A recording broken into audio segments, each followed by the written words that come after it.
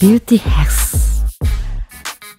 และอีกสิ่งหนึ่งนะคะที่สาวๆ อยากรู้มากในตัวเธอ นั่นก็คือการ makeup ค่ะ ที่ดูแบบ look inter เป๊ะเวอร์มากกใช่แล้วนะคะทำเอาสาวๆ หลายคนเนี่ยอยากรู้ว่าเธอแต่งหน้ายังไงนั่นเองค่ะ ใช่ค่ะ ถ้าสาวๆ อยากสวยแบบคุณแพรวัฒนิกานะคะ ค่ะ ง่ายๆค่ะ ขอแนะนำนะคะ การฉีดไหม Lipo X เล็กกว่าที่เคยมีค่ะ ที่จะช่วยลดโหนกแก้มนะคะ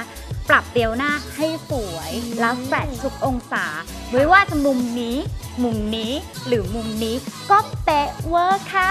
ใช่แล้วนะคะ ใครอยากจะหน้าเล็กค่ะ Lipo X นะคะ ช่วยคุณได้ แต่ถ้าเกิดว่าใครค่ะอยากได้ look วัฒนิกานะคะ จุดขายของเราวันนี้ที่จะมา hack กัน นั่นก็คือการทาลิปสติกอ่าให้ปากดูอวบอิ่มนั่นเองง่าย ๆ ค่ะ ไปทำตามกันเลยค่ะ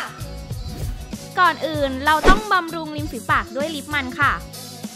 ใช้ดินสอเขียนขอบปาก กิ๊กจะใช้สีเข้มกว่าสีลิปสติกที่จะทานะคะ โดยวาดขอบปากด้านนอกเกินมาได้นิดหน่อยค่ะ เลือกสีลิปสติกที่ชอบ โดยสีต้องใกล้เคียงกับสีดินสอเขียนขอบปากนะคะ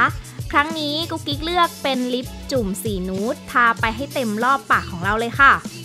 เสร็จแล้วทาทับด้วย lip gloss ใส หรือผสม glitter เพื่อความเจิดแบบสุดค่ะ นำไฮไลท์ทาบริเวณกระจับปากเพื่อให้ปากเราเด่นขึ้นนะคะ